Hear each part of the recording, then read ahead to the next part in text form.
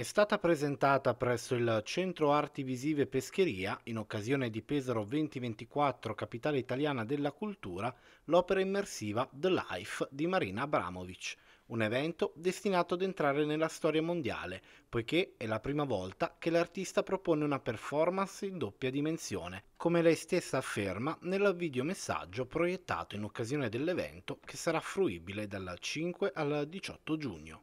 It's a great honor to be invited to Pesaro, the European City of Culture of 2024. I am presenting with Tim Drum my new mixed media work called The Life. I know that this festival is focused on relation between science, nature, technology. And my work is based on performance art. And this is my first experiment and my first attempt to use the new technology and enlarge the idea how the performance art can actually be seen in future if the performance artist is not there anymore. I hope that you enjoy this event and participate in my presentation with the Team Drum. Thank you. L'opera realizzata da Marina Abramovic è dunque il frutto di un lavoro incentrato sull'utilizzo delle nuove tecnologie che attraverso un visore digitale permette di immergersi all'interno di quest'ultima, come spiegato dal regista Todd Eckert, presidente e fondatore di Teen Drum.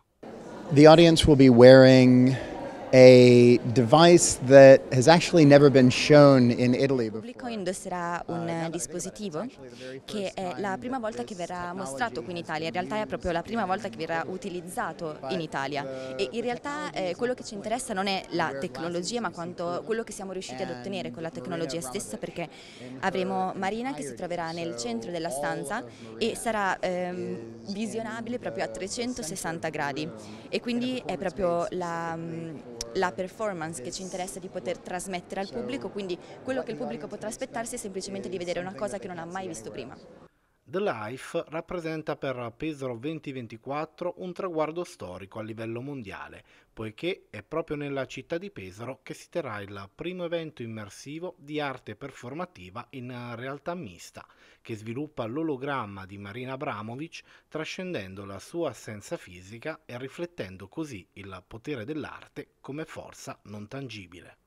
Una performance che propone alla città una grande riflessione sulla presenza del corpo, ma soprattutto ci consente di ragionare sulla relazione tra natura, arte e tecnologia, che è il tema proprio di Pesaro Capitale Italiana della Cultura. Quindi un grande eh, sogno, quello di avere un artista eh, della portata di Abramovic a Pesaro, eh, ma soprattutto l'occasione per poter fare anche un bilancio di questi sei mesi eh, di Capitale della Cultura, una capitale che come sapete eh, è costellata di eventi che spaziano tra diversi linguaggi espressivi e anche della comunicazione sociale. È un lavoro eh, di un significato profondo che ha a che fare con la connessione umana, ha a che fare con la presenza, con l'assenza, eh, ci pone anche nuovi interrogativi, magari anche qualche soluzione rispetto a anche ai periodi, pensiamo ai due anni della pandemia, quindi allo sfilassamento dei rapporti, ma anche alla necessità di, eh, di riconnetterli con e senza l'apporto del digitale, misurando quindi